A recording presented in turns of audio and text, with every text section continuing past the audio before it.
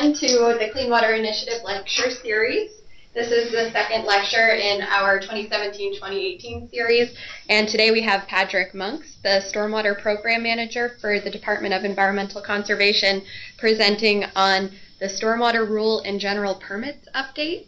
Um, I just wanted to give a quick reminder before we get started that our next lecture series will be held on November 9th, and that's going to be covering the restoration of Lake Memphremagog and the total maximum daily load for, or TMDL for Lake Memphremagog. Um, so we'll go ahead and get started. For folks on the line, if you have any difficulty seeing the PowerPoint slides or hearing, please let me know via instant messenger. And I'll also be fielding any questions or comments for online participants through the instant messenger on Skype. Uh, so that, take it away. Great. Thank you, Emily. Um, Thanks for coming. Again, my name is Padraic Monks. I manage uh, Department Stormwater Program.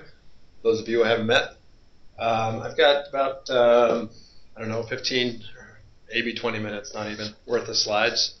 So I can, you know, sort of run through those and leave time for questions. But certainly, you know, if, if questions come up along the way, that's fine as well. I'm going to cover um, our forthcoming update of the stormwater rules. I'm going to plan to cover uh, the reason for the update, uh, what changes or new standards uh, that'll go into effect, and the timing and the process for the adoption of the rule. As to why it's required, um, we have a mandate from Vermont, uh, from uh, Act 64, also known as the Vermont Clean Water Act. The rule will consolidate three existing stormwater rules. For those of you who, who uh, done any work with our program, we've got a uh, a rule for unimpaired waters, for impaired waters, um, an older rule that governs federal uh, our federal programs. Uh, so this will also develop some state rules for our Clean Water Act based programs because currently we operate directly under federal regulations for those programs. And again, um, it allows us a chance to uh, develop the new requirements. So what are we going to accomplish? We'll have one rule for operational permitting, construction, multi-sector general permit uh, for industrial stormwater, our municipal roads general permit, our MS4 or municipal separate storm sewer system program, uh, designation authority, and CAFO or concentrated animal feeding operations. So that's going to be a beast of a rule. It's you know over over 100 pages. Um, what's good about it? it? It consolidates all our requirements into one place. So that's, that's good for us, for our program, and I think also for the public in that there's one place to look to identify why is it we do what we do and what our standards are. Um, it's largely, you know, uh, I wouldn't say administrative, but to a large degree, it's a, it's a repackaging of existing authorities and rules. But with that said, um, there are some significant new requirements that will be contained in the rule. Uh, we will we are developing and identifying the requirements for what we call our three acre sites, and I'll describe those in more detail in a minute. Um, we're going to expand our offset and impact fee program and identify requirements for certain expired permits in stormwater impaired waters in Lake Champlain watershed. So my, my goal in, in the outreach that I've been doing is to really highlight what I see as the major uh, new developments in the rule. I'm not trying to steer anyone towards focusing on anything. You know, obviously, as soon as we have a, a draft version of the rule, we will be sharing that with stakeholders and encourage folks to go in depth as, as far as they're interested in. But again, here I'm just really trying to point out what, what I feel like are the, the main new elements.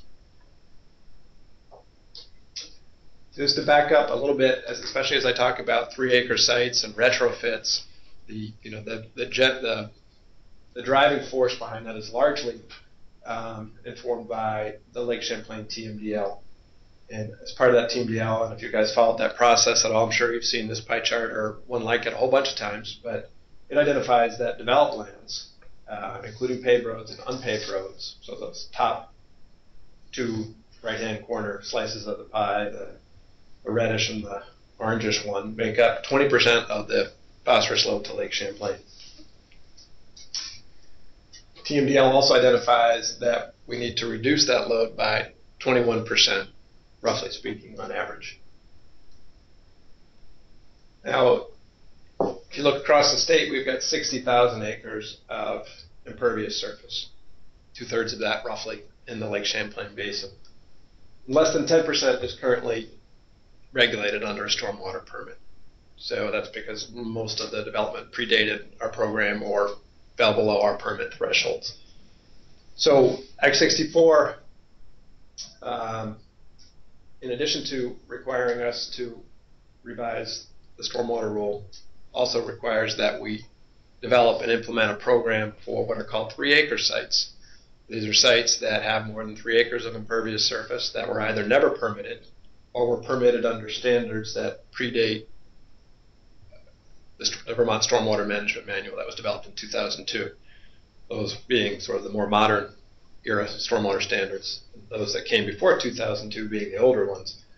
So the, the idea here is to address the water quality impacts from all this legacy development that has taken place over decades or, or longer, and which is currently un or under regulated. In the case of you know National Life, where we are now, um, you know that in the upper left-hand corner we've got that satellite parking lot. You know that was newer and that was permitted to the 2002 stormwater manual. The rest of the development is under a, uh, a much older stormwater permit with uh, much less effective best management practice standards. So the idea of the three acre general permit is to address these types of sites, not just in the Lake Champlain Basin, but, um, but statewide. We are due to have the general permit in place by January. Essentially, it, it will it will move forward in parallel with the rule because the rule identifies um, you know, the significant technical requirements we're talking um, for the general permit. Um, we'll miss that deadline by a little bit, hopefully not much. Um, regulated projects are required to have permit coverage uh, by 2023 if those projects are in the Lake Champlain Basin. You know, western half of the state, the rest of the state, projects are required to have permit coverage by 2028 roughly, um, and we're in the process of identifying, you know, where these sites are, um, how many we have exactly, uh, but roughly we've got a thousand of these projects statewide. The three acre general permit will require that these sites undertake retrofits. Um, as part of that, they'll be required to maximize treatment on site, and the standards that they'll follow are based in the Vermont Stormwater Management Manual, uh, 2017 version, which just went into effect in July. Um, pro- uh, affected projects will potentially need to meet uh, upwards of three specific criteria in the manual. We call our water quality treatment standard, groundwater recharge, and channel protection. Just for reference, a new project coming in that requires an operational stormwater permit would estimate uh, there's six potential standards that they have to meet in the stormwater manual. So we've downsized it to focus on the pollutants of concern, you know, phosphorus in the Lake Champlain Basin, and excess flow in the stormwater impaired waters, which is addressed through the channel protection standard.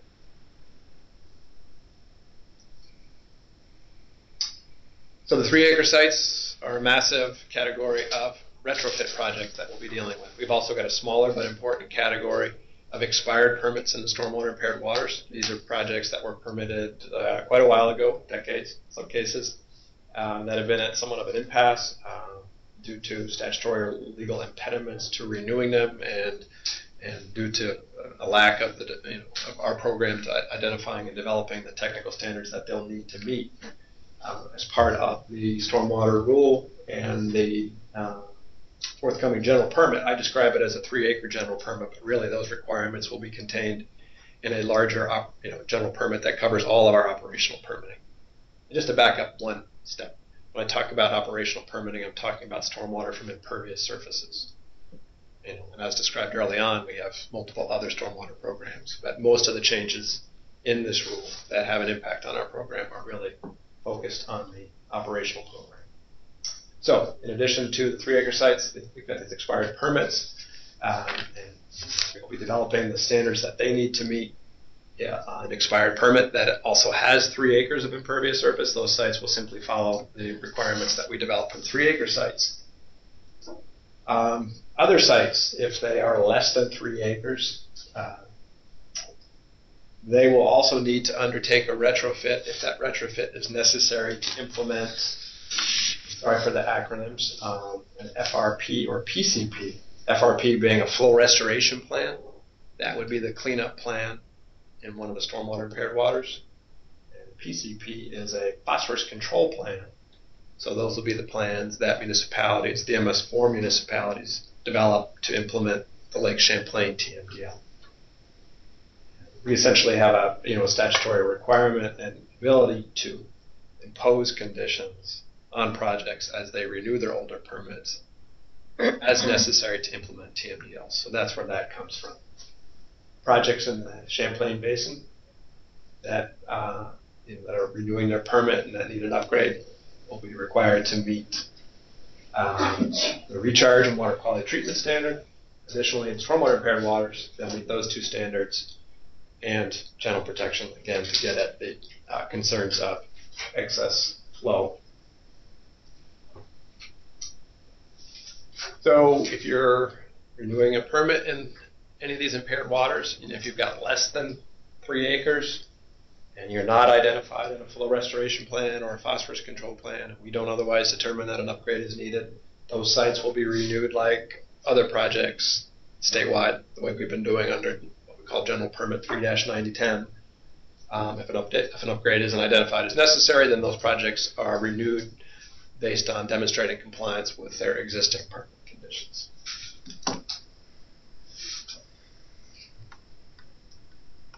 So again, uh, the retrofit categories are three acre sites and permit renewals. For these sites, as they go through permit renewal and permitting for the first time, uh, the goal is for these projects to meet the standard on 100% of the site. And we understand that that is much less achievable on, on retrofit sites versus new development on an undeveloped site. Consequently, uh, as uh, project designers assess what's feasible for the project, they'll be evaluated against a range of engineering feasibility analysis criteria. These are, are, are being modified. This is from these criteria are, are really close to what we have in our existing uh, residual designation authority general permit, where we required projects to retrofit previously. Um, so we'll be modifying these, but imposing similar conditions. Essentially, requires that you don't need to buy new land um, or do bad things to wetlands or stream buffers or pump your stormwater and so forth. So basically, the, the, the goal of project designer is to meet the standards that I described, also acknowledging that there are certain limitations that should be considered um, when projects are identifying what they can do. as mentioned, we, we have experience doing that under the residual designation authority general permit. Um, it, it, didn't affect nearly as many sites as the three acre requirements will affect. But you know, when projects went through that design process, we certainly saw some number that only implemented minimal to, to no to no new stormwater treatment practices because they demonstrated that it wasn't feasible so based on that experience and also based on the requirement in Act 64 that our rule include the use of offsets, impact fees, and trading, um, we're proposing a um, impact fee system that'll be applicable to projects that undergo a process and will apply to the portions of the project that don't meet technical requirements Impact fees are only applicable in Lake Champlain Basin and stormwater impaired waters. That's a statutory requirement. So the, the requirement to permit three acre sites applies statewide.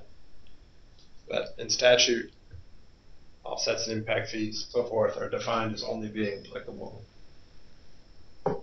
in those. So I'd say the western half of the state, but there are a couple stormwater impaired waters that are outside the Lake Champlain Basin. Mount Snow, Killington. The idea is to provide incentive and equity. Meaning the incentive is instead of a designer saying, well, what's the least I can do and meet the standard, it provides a back an incentive to meet the standard in that the extent to which they don't, they'll be subject to paying impact fees. It provides a form of equity in that if you've got two sites and one site can provide uh, you know significant level of treatment and the site next door can't, it ensures that the site next door is still contributing to the overall solution. Simply put, the way the impact fee system will work is, again, the, the, goal is for a project to provide treatment on 100% of the site if it can. Um, there's a fee target that we're proposing such that if a project provides treatment on less than 75% of the site, they'll pay an impact fee based on a sliding scale. Projects that can exceed the 75% fee target are potentially eligible to receive fees. Impact fee is up to $50,000 per acre of impervious surface. That's based on our existing impact fee that we've been using in the stormwater impaired waters for over a decade now. It's 30,000, um, adjusting for inflation. Uh, we consulted the Engineering News Record Construction Cost Index from the period 2002 to 2017, 2002 being roughly the era where we uh, developed and uh, obtained um, local cost information regarding the cost of compliance with the stormwater manual and adjusted it for that period, which brought it up to 49,000 and change, and we rounded it to 50,000. 50,000 is further broken down into specific by specific treatment criteria. Uh, groundwater recharge, water quality treatment, and channel protection, as I noted early on, are the three criteria that retrofit projects potentially need to meet. So based on other published information, uh, we've assigned a $10,000 uh, fee to groundwater recharge, 15000 to water quality treatment, and 25000 to channel protection. So in the stormwater impaired waters, where all three criteria are potentially applicable, projects face up to $50,000 per acre uh, impervious surface in terms of impact fees. And if you're not in a stormwater impaired water, but in Lake Champlain, because only water quality treatment and recharge apply, the maximum fee is 25000 And I'd emphasize that those are maximum fees. I think it would be a, a rare project that provides no treatment. Most will provide some. The way the impact fee and watershed fund system would work in a nutshell is that for each stormwater impaired water and for the watershed of each lake, seg- lake segment Lake Champlain, TMDL lake segments, a watershed fund will be created. We actually, those funds already exist in the stormwater impaired waters.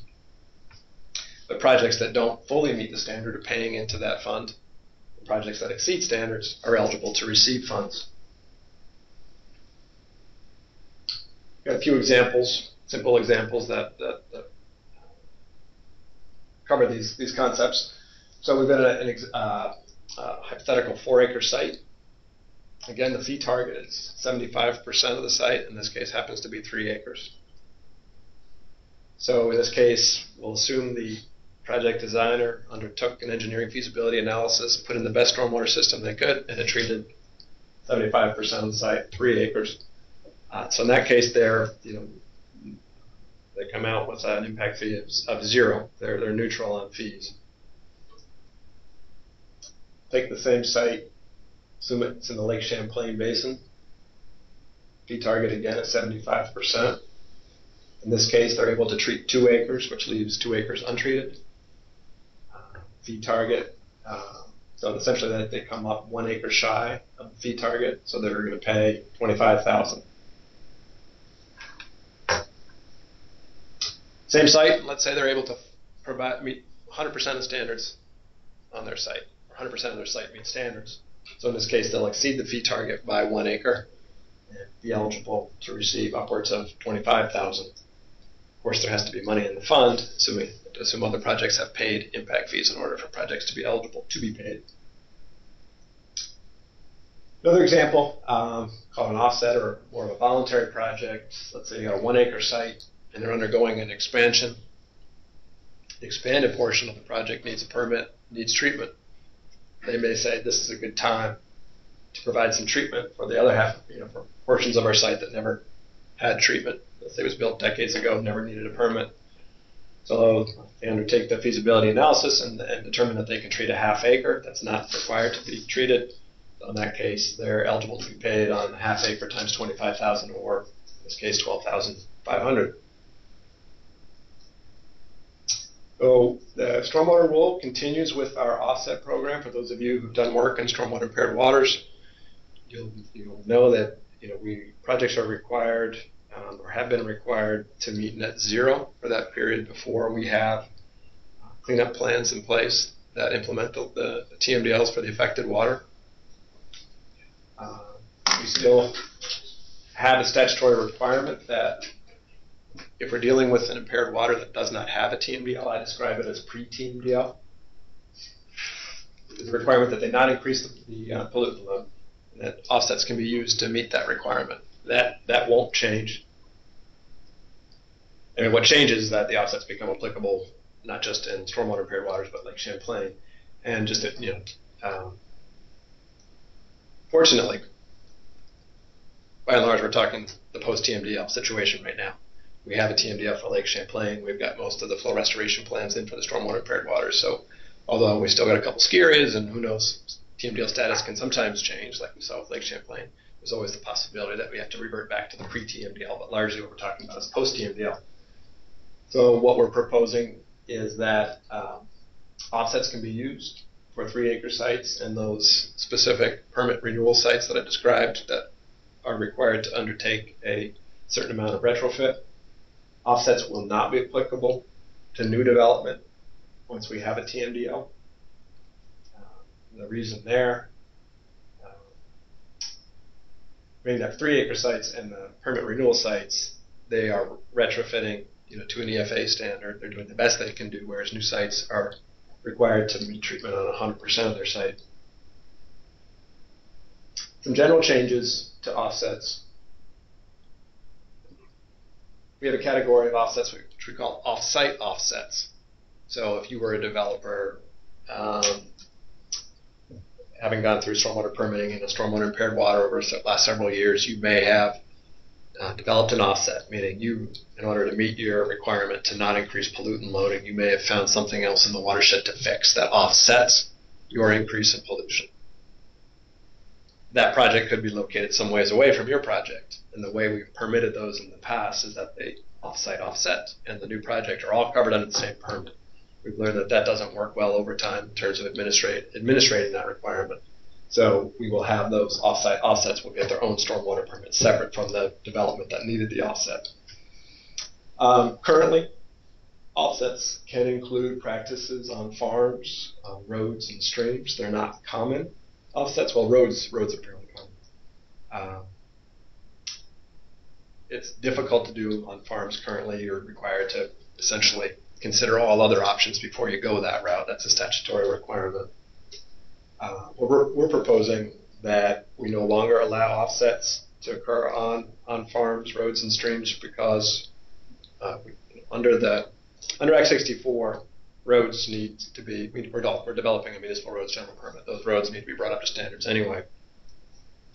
And then once we're into the post TMDL period, as we are in Lake Champlain, significant reductions are required from farms anyhow. So if we start having the developed land sector doing offsets on ag land, we can't really credit those projects towards meeting our developed land reduction requirements. So we propose to keep them separate for tracking other reasons. The trading, again, Act 64 requires that we allow for the use of offsets, impact fees, and phosphorus credit trading trading is a fairly broad term, and um, we've sought to meet that requirement through the use of offsets and impact fees. To a lot of folks, trading can also mean trading between sectors, between stormwater and agriculture, or between stormwater and wastewater. You know, those are those are important concepts, and I appreciate that there's interest there, and we're you know committed to you know continuing to lead a conversation about um, the feasibility of those uh, requirements, but there's there's some significant policy and legal issues that really need to get addressed before we can go further in that regard. So we're not proposing to include them in the rule at this time. We know one of the major you know obstacles that, that I see. We're talking about trading between, especially between stormwater and agriculture. The concept of trading is you something cannot be done, or if someone goes above and beyond what they're required to do, that can be applied to something else that needs to be done. But for both developed lands and agriculture, the lift is so high in both sectors. I, I really, I'm certainly open-minded to this, but I don't really see where the extra can be done or is being done, such that we can say, okay, we can back off here, and doing more here. And there's also issues of whether that, that sort of um, flexibility between sectors is, is allowable under the TMDL. And, you know, we're, we're not closing the door on that. We just, you know, we do have the, the need to move forward now. And you know, those conversations will take quite a bit longer than than uh, than we have at the moment.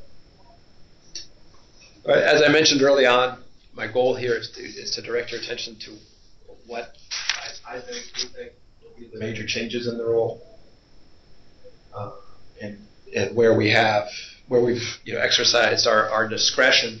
There's, there's a lot of things that just have to be in the rule, statutory and federal regulatory requirements that we don't really have the ability to change, but where where we've had to establish uh, new standards. That's what we're trying to point out here. So when we do get the rule out to you, uh, you've got a, an idea of where to focus. But again, please I, trust you will focus anywhere you see fit.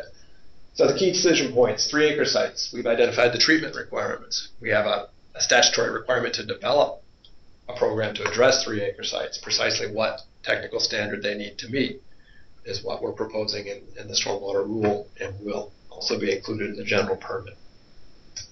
Expired permits in stormwater impaired waters, you know, those have been a topic of conversation for a long time, a lot of years.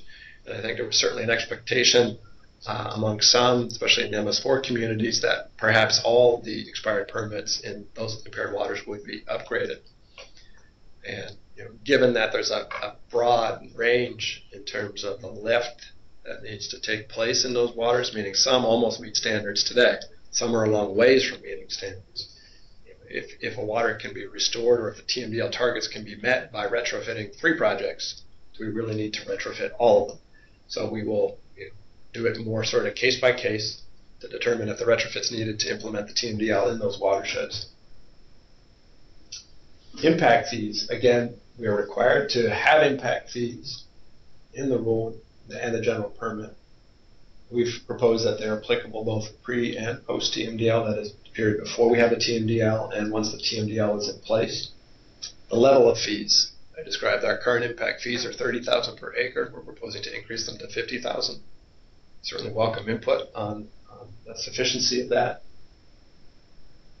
Also, the ability of projects to receive fees. Uh, we've got a long, a fairly long history of projects paying stormwater offset impact fees. Uh, the projects that have been able to receive those fees are projects that undertake offsets. Offsets as currently defined as being projects that aren't otherwise required. What we're proposing and the rule is that projects that are required to obtain permit coverage, but that exceed standards, not new projects, but retrofit projects, projects that exceed standards are eligible to receive those fees. Process and timing for going forward. Again, uh, rules due under Act 64 January. Uh, we'll miss that date by a little bit.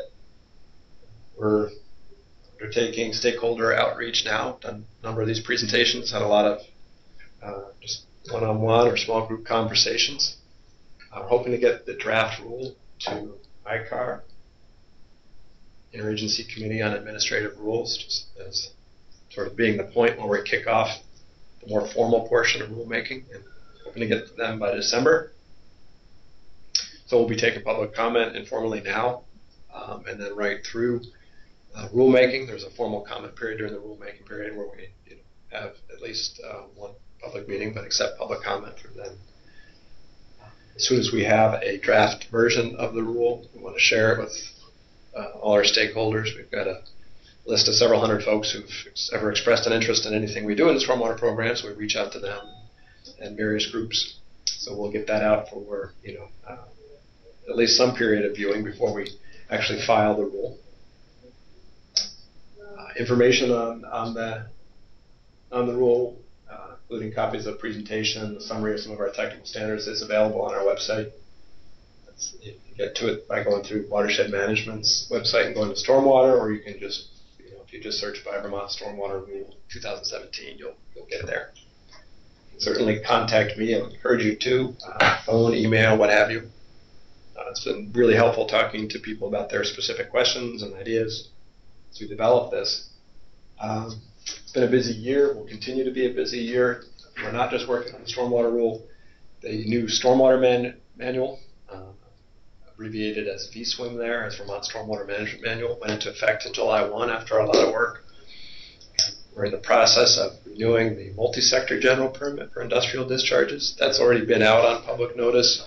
Um, we're required by EPA to include a electronic reporting system so that permittees are submitting their discharge monitoring reports and other reports to an electronic system. So we're working with a contractor to get that finished up. As soon as we do, we'll finalize that. The municipal roads general permit, MRGP, that's currently on public notice through, I think, the 26th. Uh, Jim Ryan and company have had uh, two or three public meetings, and there's two or three next week, so a total of five. It's a 45 day public comment on that one. The MS4 general permit is due to be reissued. Uh, the current general permit expires in December of this year, so we'll be reissuing that and hoping to squeeze in the construction general permit as well. So we appreciate that's a lot for you know all of you, stakeholders, interested folks to keep track of. We didn't plan it that way; it's just the way it's rolling out. We do appreciate the interest and the feedback that we're getting on all these efforts. So that's that's it for the, the formal the formal portion of the slides I have. Happy to talk about anything of interest to you, and I appreciate those of you who've suffered through this presentation more than once. And folks on the line, if you have questions, you can type them into instant messenger and I'll uh, voice them for you.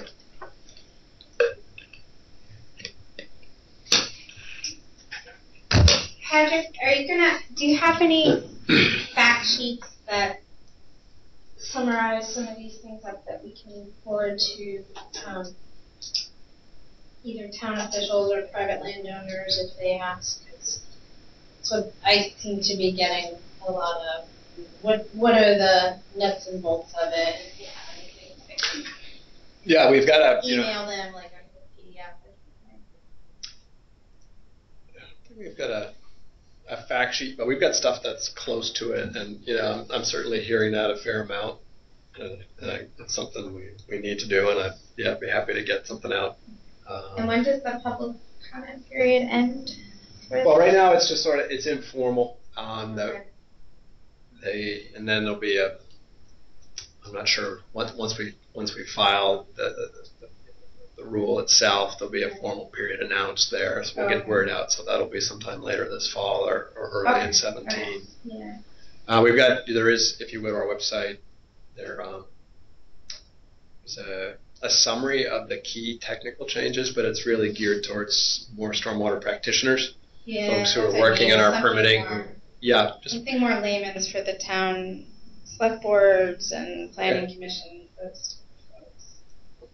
Um, you know, the road, the road crews are very well about, you know, they know all about the MRGP, but it's more, you know, the other types of sites that read some folks need to know about. Okay. Will do thank you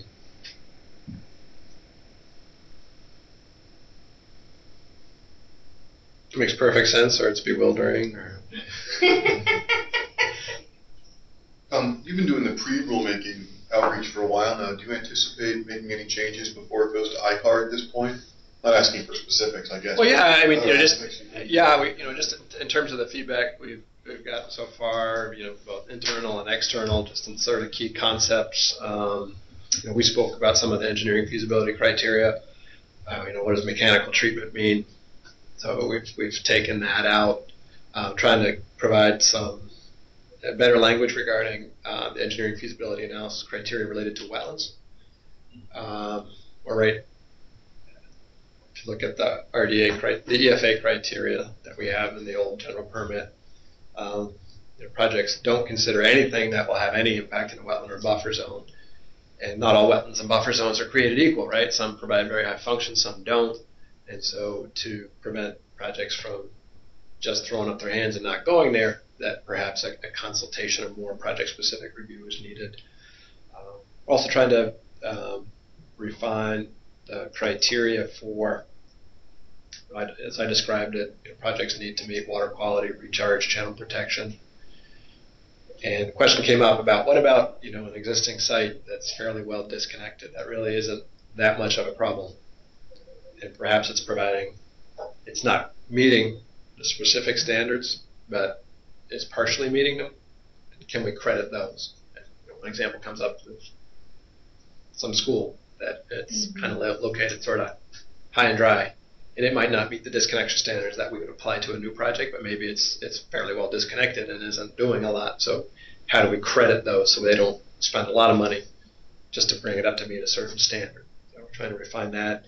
Um, on the three acre sites, we've defined them as any parcel with more than three acres, or if it's multiple parcels and they were previously subject to a permit that covered more than three acres. So an old commercial park, maybe no particular parcel has more than three acres, but once upon a time they did something that needed a permit, and that permit covers more than three. They're in. Let's looking at you know some of the some of the projects that will likely be in. You know, if you look at parcel maps for ski area or a college or a hospital, you know sometimes there's some pretty awkward parcel configurations such that a parcel might lop off part of a parking lot. You know, so that parcel maybe was never under a permit, and that parcel's not over three acres, but it's clearly part of that entity. So they should probably be in. But what we aren't looking to do is going into you know, old subdivisions that never had a stormwater permit and aren't really otherwise affiliated and saying, all right, you know, you are now retroactively common plan of development and you need permit coverage because where do you stop? I mean, it's what a subdivision mean. All land was subdivided. It's just a question of how far back you want to go. Um, so th- those are the sort of details that we're working through. Um, also trying to uh, proposed perhaps treating private roads differently. There's, there's certainly a lot of interest in private roads. And our answer, you know, especially coming from municipalities, like, well, if we're going to bring the municipal roads up to standards, what about the private roads? And our answer has always been, well, if the private road is over three acres, it will require permit coverage, and that's true. But if you've got a private road that is just sort of unto itself, meaning, let's say it's going through a subdivision that doesn't otherwise need a permit, applying the standards that we've proposed here don't really make a lot of sense. You know, that they're more designed for, you know, a more rectangular project, if you will. So we're going to propose that those types of private roads that are really just the only thing that's regulated is the road. They follow standards similar to that we've developed for municipal roads. And the same could apply to you know, ski areas have more remote roads. You know, there's the road that goes right through the base of the ski area. We should treat that along with all the impervious next to it. But if they've got a work road that goes snaking up the hill, applying the BMPs and the stormwater manual to those roads isn't necessarily a good fit. Or a road to a state park or something like that. We really want them just to focus on road standards as opposed to uh, the other BMPs in the stormwater manual. So those are just a handful of things that you know that. Uh, We may see some changes to those things before it goes to ICAR. Yeah, so they, those will, all those will all be in the pre-draft that come out to you, and I expect we'll get more feedback, and so then I'm sure there'll be some level of change before it goes, before we file it, and then you know again, then there's the opportunity. You know, it does get harder, but certainly by no means impossible to make changes once we've uh, started the formal rulemaking process. Just one other thing that came to mind, maybe not something for the rule, but I see you've got impact fees associated with the recharge standard. So consider how you're going to treat D-soils. So I think the recharge standard's waived, so I'm assuming payment wouldn't go to properties on D-soils. Correct. Right. So yeah, under the feasibility criteria, if your project is waived from meeting, some of the standards don't apply to all some, all, all the projects, as Tom described. Uh, if you're a project on D soils, which are you know, soils that don't really infiltrate, then you don't have to meet recharge. So one, we wouldn't charge you impact fees, and two, you wouldn't be able to say, oh, I've met recharge, I'm eligible for fees. You actually have to provide the treatment. But that's something we've tried to articulate, but you know, we re- we write things and we know what they think they mean, and we read them and they make sense. But once they get out there, those types of things that you know you've got experience with, having your eyes on them will be really helpful.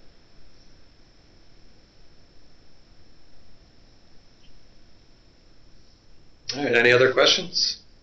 So, Patrick, um, have you guys considered the impact or disincentive that the impact fees and trading structure may be on towns or municipalities that are interested in integrated permitting? Uh, for instance, we're through FED, we we're funding a planning slash feasibility study so the city of Burlington can evaluate where they need to make stormwater improvements, do CSO work, uh, upgrade the treatment facilities, all in trying to ratchet down their overall phosphorus numbers. And uh, it, from from the slide, it indicated that they, would not be able to take credit for work done in one sector and apply it or, or receive either a reduction fees or receive fees from making improvements, say, at the wastewater and then uh, applying those to either stormwater or vice versa. Basically, if you if you did a, a slam bang job at the treatment facility, they have to reduce uh, less phosphorus from the stormwater side or from the developed land side? It, side, and it, it seems like this structure would actually disincentivize that. Well, I mean, I I think it's not clear that projects can, or that a regulated entity can get credit towards stormwater by addressing wastewater at this point. So I don't, we don't, we don't create any new impediments to it. I mean, I think it's certainly worth keeping in mind. Preliminary feedback from Burlington has been relatively positive on, you know, creating those impact fees. I think they are supportive. And I don't want to speak for them at all. I mean, I've had minimal conversations with them, but they, they're supportive of a, you know, a, a stronger approach where we're really creating more of an incentive for projects to, to do things on site. And um, it sort of reduces their, their burden. I mean, I think there's a lot of folks in the private community who are like, hey, it'd be a lot more cost effective if we just did all this on public lands. And I think municipal perspective is we really should be managing all of the stormwater on private land. Um, so to the extent we're achieving reductions on three acre sites and using those incentive, those those impact fees to create that incentive, I think they'll be supportive. Also, projects that are um, paying those impact fees, the MS4 communities are eligible to uh, to receive those fees for projects that they're implementing. Um, or most permittees, they can get, they'd be eligible to receive impact fees, you know, if they exceed the standards as described. And MS4s can certainly get in that line to do that, but, you know, on an annual basis, once we've allocated those fees, if there's fees left over, you know, municipalities may be well be doing projects that are good projects to do, but that aren't exceeding that 75% standard.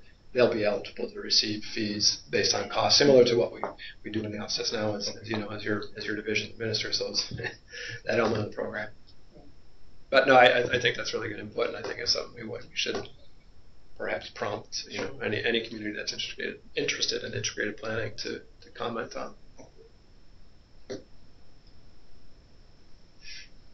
Um, I have a question, another question. I don't know if you're the best person to answer this, but because it has more to do with funding for actually implementing the big retrofits. I don't know. Sorry to chime in on this, but um, I've gotten a few mixed messages, whether it's a three acre site or retrofit on an expired permit.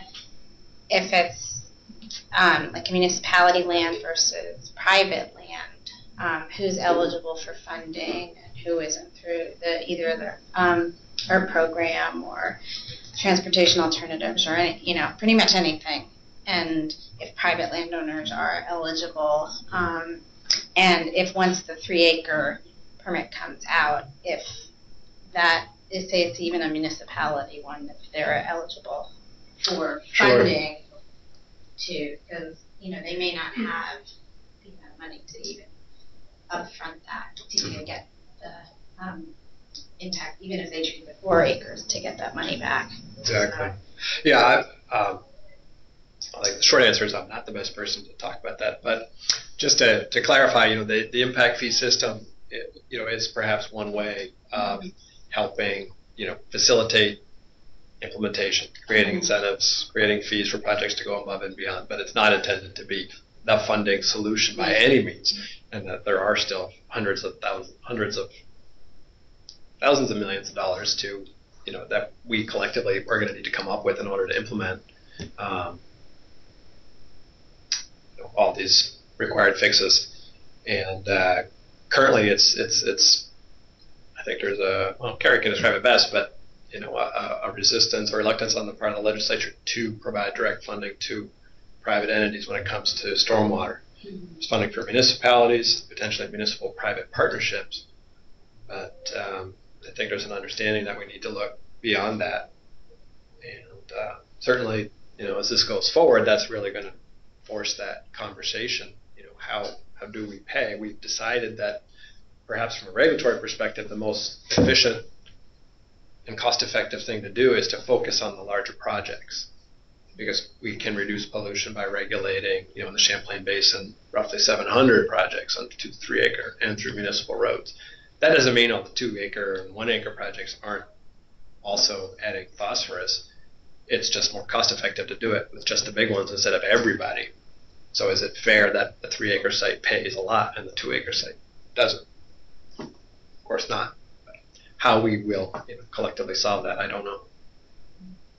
Carrie, I, mean, I don't know. I'm, I'm covering it at a superficial level. I don't know if there's anything you'd um, want to chime in on there. Um, yeah, we'll, we'll have um, more uh, information on our grants manual. We're in the process of updating it to be clear about the, our eligibility criteria. But as, um, as of today, the legislature has voiced on a policy level that um, funding privates on, on uh, projects on private property without municipal um, endorsement or support where the municipality would take over the um, operations and maintenance of those projects um, are currently not eligible for ecosystem restoration grants. Uh, the priority is to provide support for municipalities related to um, those projects, but it, it states there uh, as well in our manual, and we'll again try to update that to be more clear. But it does say that for all new projects or redevelopment projects that would trigger a stormwater permit, that too would not be eligible for uh, ecosystem restoration grants at this time. Thanks, Greg. I think on costs, I may have said thousands of millions, I meant hundreds of millions. Still, big number.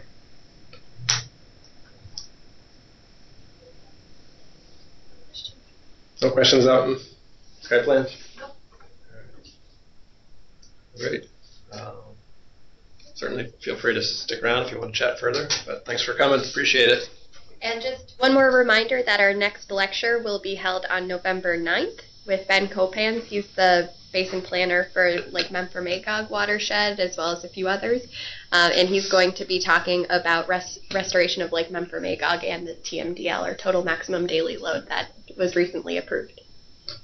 If you haven't had an opportunity to get a glimpse of the work Ben's been doing up there, I'd highly recommend it. He's, he's done incredible work. It's a really interesting approach. They don't make me say that. It's, it's true.